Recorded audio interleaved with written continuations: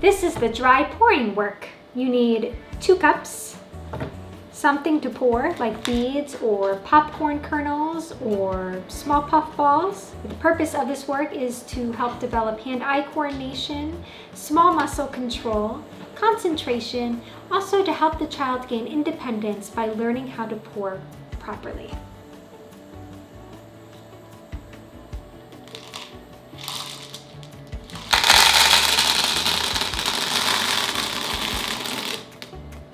I make sure that I pour very carefully and deliberately.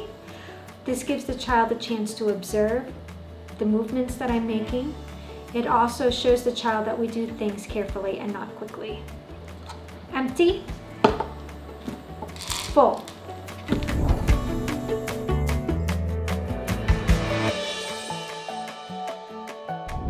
Mommy, Yes. it empty. It's empty.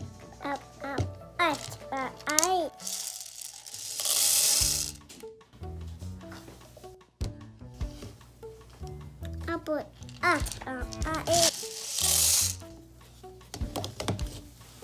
I. It. It's empty. Ice. Yep, full of beads. It empty. It's. Uh, uh, I.